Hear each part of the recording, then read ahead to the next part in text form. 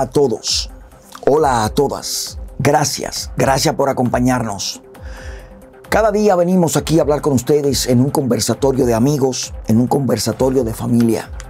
Quiero agradecer encarecidamente a cada uno de ustedes el favor que nos hacen de poder compartir estos minutos y poder, tanto en la mañana como en la tardecita, pasarle balance a algunos tópicos de interés que tienen que ver con la situación que vive nuestro país. Sabemos que no somos monedita de oro para caerle bien a todo el mundo, pero lo importante es venir a traer el mensaje, un poco de agua viva para que ustedes puedan tener un poquito de claridad en este oscuro momento que está viviendo nuestro país. Hoy quiero hablarles de nuestro pueblo, de nuestro futuro, de lo que nos espera como nación. Recordarles que somos un pueblo indefenso, resignado y parece que sin esperanza.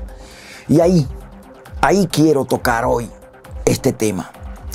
Es posible que nos estén condicionando y educándonos para que seamos un pueblo así.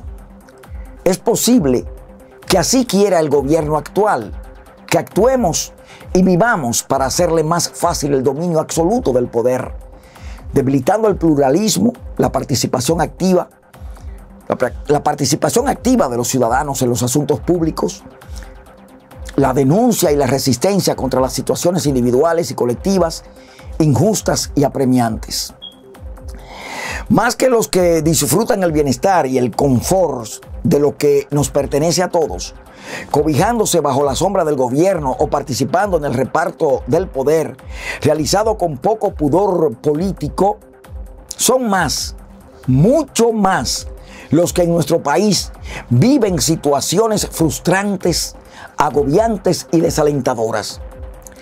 Y nada pasa, pareciera que hemos aprendido la desesperanza tan cercana a la impotencia, tan parecida a la resignación. No se trata de un tremendismo. Pregúntele a sus vecinos, a sus vecinos cercanos, conocidos y transeúntes cómo se está viviendo actualmente en el país. Es más, es probable que encuentre un profundo y visible descontento en cientos de comunidades, grupos y sectores que se ven privados de los recursos y servicios esenciales para subsistir y que ven diariamente deteriorarse precipitadamente su calidad de vida personal y familiar, sumidos la mayoría, en un pesimismo generalizado. Los jóvenes, los padres, los profesionales, los jubilados y los envejecientes tienen una sensación de vacío y de desesperanza de un futuro y un horizonte ensombrecidos. Y nada pasa. Hemos aprendido la desesperanza tan cercana a la impotencia, tan parecida a la resignación. A veces, la ciudadanía asfixiada por los problemas que le impactan profundamente, protesta, se moviliza, vocifera, realiza paros o llora ante las cámaras de televisión. Pero casi invariablemente pasa lo mismo. Las cosas siguen igual o empeoran, desmoralizando a los que en nombre de sus derechos democráticos demandan respeto y atención a sus demandas ciudadanas, recibiendo en cambio calculadas respuestas represivas y de fuerza o maquiavélicas indiferencias y negación de las demandas, inquietudes y derechos de los ciudadanos. Lecciones estas lacerantes que preparan para el aprendizaje de la indefensión, la resignación, la exclusión y la desesperanza. Y es que la indefensión y la desesperanza pueden ser, pueden ser aprendidas. El término desesperanza aprendida, llamado también impotencia o defensión, fue acuñado por el psicólogo norteamericano Martin Seligman. Hace referencia a un estado emocional, cognitivo y actitudinal en que la persona se siente indefensa, considera que no tiene control sobre la situación, lo cual le hace permanecer aletargada, desmotivada, pasiva y pesimista. Y ese es el caso que nos ocupa a los dominicanos el pesimismo, el desgano, el sin razón. La gente perdió el derecho, perdió el deseo, perdió la inquietud de vibrar. Nuestro pueblo se ha ido a pique. ¿Acaso no sucede esto cuando el gobierno ignora o reprime los reclamos de los maestros, de los médicos, de los cañeros envejecientes, de los empleados del sector cultural o cuando fija los precios de la gasolina según le venga en gana? O cuando nos hacen pagar la energía eléctrica y el agua independientemente de que sea servida o no, o simplemente cuando los AMET mandan a parar a los conductores cuando el semáforo está en verde y a pasar cuando está en rojo, trastocando códigos internacionales, o también cuando o cuando no encaran la debida inteligencia y la urgencia de vida a los problemas de la seguridad ciudadana y al alto costo de la vida. Pareciera que somos víctimas del caos y a la anomia social programados. Pequeñas lecciones domesticantes que encubren, y ustedes lo saben, grandes perversidades políticas, sociales, económicas, educativas y culturales. La desesperanza aprendida está estrechamente relacionada con la manipulación política. El gobierno coloca permanentemente a los ciudadanos en una situación de shock para que los ciudadanos distraídos, paralizados y atemorizados no reaccionen frente a los grandes problemas sociales y decisiones públicas controversiales que terminan siendo impuestas, adquiriendo muchas veces la forma de abuso de poder se trata de mantener la atención del público alejada de los verdaderos problemas sociales y económicos del país procurando desviar la atención hacia temas, eventos, noticias triviales, montadas estratégicamente para desmoralizarnos y evitar iniciativas resistentes a los abusos del poder. Vemos diariamente cómo se juega con la radio, cómo se juega con la televisión, cómo se juega con el internet, cómo una noticia tumba a la otra, cómo se inventan noticias, cómo se crean falsas noticias para que el pueblo siga amemado, para que el pueblo siga atosigado, para que el pueblo siga en un limbo existencial. Un pueblo que no quiere despertar, que sabe que se lo está llevando el diablo, pero no despierta. Somos un pueblo indefenso, resignado y sin esperanza por ahora. Así han pretendido hacernos los últimos gobiernos. Así nos quieren ver. Han atentado contra nuestra estima ciudadana. Quieren hacernos indefensos para imponernos sus verdades, sus verdades salvadoras y sus programas, programas clientelistas mediante los cuales se le regala al pueblo lo que le corresponde por derecho. Ayudan a los pobres, pero primero hacen los hacen los pobres, los, los profundizan y después le llevan funditas de migajas o le llevan una, una, dos funditas de cemento, dos hojas de zinc, ¿eh?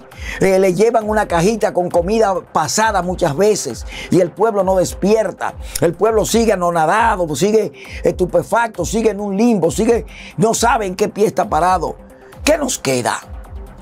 Mientras el país camina patas arriba, narigoneado por una mano oculta, con un plan oculto, solo nos queda despertar, indignarse, denunciar no conformarse, conformar una opinión pública vigorosa, informada y reflexiva con la voz de todos, impulsar la denuncia y hasta la desobediencia civil si fuese necesario, exigir en voz alta nuestros derechos como individuos, como comunidad, crítica local, regional y nacional, ante quien sea, en todo momento, siempre, renunciar a ser tratados como borregos, asumir la responsabilidad por nosotros mismos y por el otro, Convirtámonos en actores diligentes de nuestro futuro con la convicción de que la transformación social es posible a través del movimiento colectivo, como lo expresara Bertolt Brecht. Solo los pueblos con visiones tienen esperanza. Nuestro pueblo tiene que despertar. Nuestro pueblo tiene que entender que no puede seguir sepultado en vida. Nuestro pueblo tiene que saber de una vez y por todas que lo hemos perdido todo. Que estamos en un hilo de perder realmente la patria en sentido general. que nos han invadido, que nos han atosigado de mentiras, que nos han atosigado de diabluras malsanas, porque no tenemos prensa, porque no tenemos iglesia, porque no tenemos gobierno, porque no tenemos educación, porque no tenemos maestro, porque no tenemos juventud, porque no tenemos futuro, porque no tenemos sueños. Porque nuestras mujeres, nuestros profesionales, nuestros niños están siendo vapuleados y usados cual trapo viejo cual mapa, como dirían en Estados Unidos, para poder barrer con nuestra gente los rincones putrefactos de una sociedad que se alienó. Una sociedad llena de pus, cancerígeno. Los políticos nos destruyeron. Los políticos nos maltrataron. Los políticos nos ultrajaron de una manera tal que ya no pensamos por nosotros mismos. Y peor aún, una cantidad de gente sin ningún tipo de formación que todo lo discute, todo lo pelea, todo lo cacarea, pero no se sienta a meditar sobre el futuro de sus hijos, sobre el futuro de su familia, sobre el futuro de sus nietos, sobre el futuro del futuro del país. No piensan en eso, piensan en el momento, piensan en la juca, piensan en el picapollo, piensan en el pote de romo, piensan en la marihuanita, piensan en la cocaína, piensan en la mujer, piensan en el echabainismo. Y eso es lo que nos está jodiendo a todos, porque no queremos poner dos dedos de frente y darnos cuenta que el país está acorralado. La patria la perdimos. La perdimos por Danilo Medina. La perdimos por Hipólito Mejía. La perdimos por Abinader. La perdimos por Leonel Fernández. La perdimos por los Vinchos Castillo. La perdimos por Guillermo Moreno. La perdimos por Narciso Isaconde. La perdimos por Rafis Domínguez Trujillo, que fue la última laguna que llegó al país. La hemos perdido porque no tenemos el coraje de defender la nación como se debe. La hemos perdido porque antes de perder la patria, nos quitaron a Otto Morales, nos quitaron a Min Abel, nos quitaron a Camaño, nos quitaron a Perdomo Pérez, nos quitaron a La Chuta, nos quitaron a David Nao, nos quitaron al Men, nos quitaron a, cantidades enormes de compañeros que murieron. ¿eh? Nos quitaron a Henry Segarra, nos quitaron a Guido Gil, nos quitaron a Orlando Martínez, nos quitaron a Gregorio García Castro a Marcelino Vega, nos quitaron todo lo que podía ser brillante en el futuro. Y vienen matándonos nuestros muchachos desde la era de Trujillo hasta la fecha y el pueblo sigue durmiendo, sigue comiendo mierda. Tenemos que despertar. Tenemos que ver hacia dónde nos encaminamos como nación. El mundo se degranó, el mundo cambió y nosotros todavía seguimos en la era de Trujillo.